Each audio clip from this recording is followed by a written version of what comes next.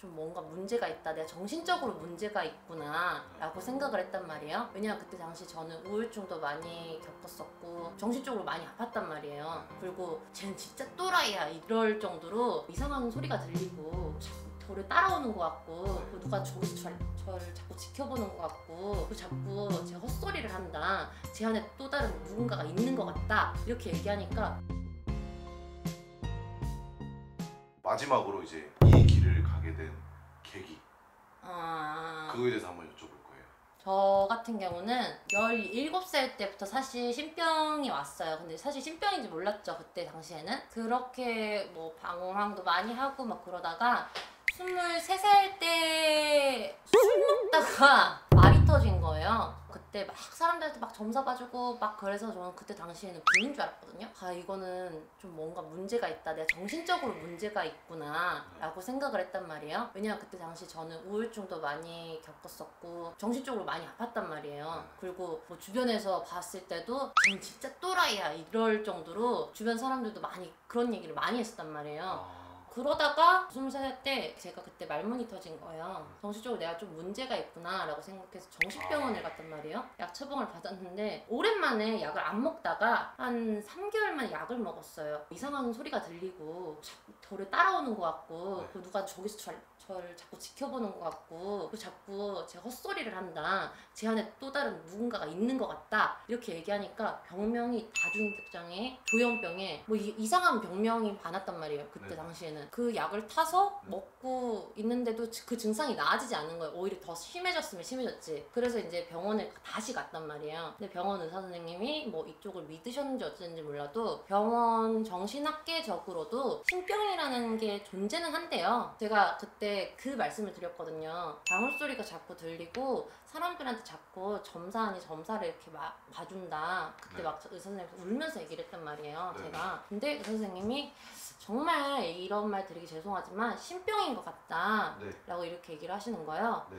그래서 무속인을 찾아가게 됐어요. 제 뒤에 자꾸 할머니랑 그러니까 동자님이 자꾸 계시되는 거예요. 네. 그때도 그냥 신병이라고까지는 생각도 안 했었고 그냥 이거는 빈일일 거야 라고만 생각을 했었단 말이에요. 그러고 있다가 제 귀에 너 죽는다 이런 식으로 얘기가 들리는 거예요. 네. 근데 그때까지도 저 무슨 생각을 했었냐면 뭐 오늘 당장 죽어도 나는 문제 없어 이렇게 생각하기로 해서 죽여라 뭐 이런 식으로 생각을 했단 말이에요. 네. 근데 조금 있다가 그러니까 그 죽는다 죽는다라는 소리를 계속 듣고 막 이렇게 있다가 너가 만약에 죽고 나면 앞으로 너희 가족들이 이렇게 될 것이다. 여태까지 살아온 인생 굉장히 불효녀처럼 살아왔었어요. 그래서 내가 죽으면 내 부모님과 내 막내 동생이 무당이 되는데 그러면 내 한 몸 희생해서 차라리 무당이 되는 게 낫지 않을까라는 생각이 그때 들었단 말이에요. 네. 그래서 사실 무당집을 이렇게 찾아다닌 것도 있었어요. 그때부터 이제 신앙말을 이렇게 네. 찾아다닌 거죠. 네. 그러면서 사실 더 미쳐 있었어요. 막 학교 다닌다 그러고. 그래서 반 미친년인 상태에서 정신이 나간 상태에서 그러니까 어쩔 수 없이 신을 받게 된 거예요.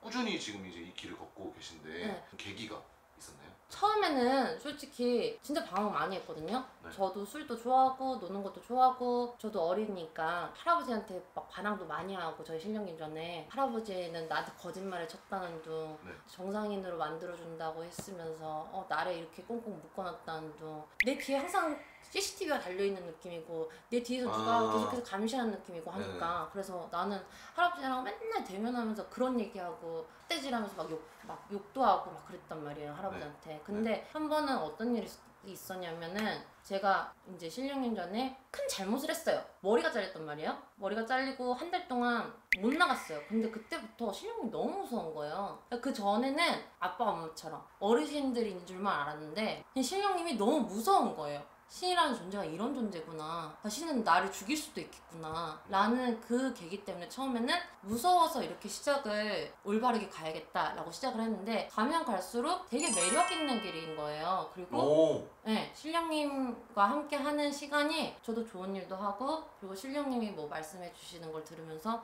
아 이게 좀 사람 사는 길이구나 라는 걸 되게 많이 느꼈단 말이에요 뭐 맨 처음에 시작했을 때 너 무당 그만둘래 했으면은 전 그만뒀을 거예요 근데 지금 와서 너 이 길 포기할 수 있니? 너 이 길 그만둘래? 라고 한다면은 저는 절대 신령님을 못 버릴 것 같아요 왜냐면 저한테 너무 감사한 분들이시고 너무 고마운 분들이시고 너무 사랑스러우신 분들이시고 그럼 지금은 결국은 이제 행복하신 거죠? 행복하다 했잖아요. 알겠습니다. 그러니까 귀신이 클럽에도 귀신이 되게 많잖아요. 네. 정상인처럼 클럽을 가고 싶었던 거예요. 그러니까 무당도 왜 신 받아도 클럽 가, 가고 할 수 있잖아 라는 생각을 했던 거예요. 네. 그리고 무당도 즐길 수 있잖아 라는 생각을 했던 거죠. 네. 근데 할아버지 딱 실리고 나서 제가 앞으로 펼쳐진 삶을 봤더니 네. 너는 앞으로 이렇게 갈 것이다 라고 이렇게 얘기를 하시는 거예요. 네. 무슨 삶이냐면 너는 앞으로 전사를 볼 것이고 너는 앞으로 산에 다닐 것이고 너는 앞으로 기도를 열심히 해야 될 것이며 너는 앞으로 그저 너 혼자 외롭게 고독히 지낼 것이다 이런 삶을 보여주시는 거예요. 마치 파노라마가 착 어. 스치듯이 그때 제가 엄청 울었거든요. 네. 할아버지가 우신 게 아니고 제가 울었어요. 신령이 실린 상태에서 제가 울었거든요. 네. 근데 왜 울었냐면 내가 생각했던 삶이랑 너무 다른 거예요. 어. 나 어리잖아. 나 즐겨야 되잖아. 그쵸. 그리고 남자친구 만나야 되잖아. 그쵸. 그럼 내 인생 끝난 거잖아. 아, 아니죠. 지- 진정하세요. 네. 끝난 거 아닙니다. 아, 아직 이제 시작이에요. 아니 그러니까 맞잖아. 솔직히 생각해 보면 나는 나는 이제 나는 정상인으로서 네. 어, 클럽도 다녀야 되고 지금 저희 주제가 무속인도 사람이다라는 건데요. 어 맞잖아. 무슨 네. 끌어갈 수 있죠. 그쵸. 네. 가면 어때요? 어, 아니 근데 네. 그러니까 우리 할아버지가 보여준 인생 그게 아니었잖아. 그쵸, 그쵸. 어? 어 그래서 난 너무 슬픈 거야. 그래서 나 신고 끝나자마자 아빠한테 달려서 그랬거든. 아빠 네 길은 내 길이 아닌 것 같아. 클럽을 못 가니까. 그쵸, 그쵸.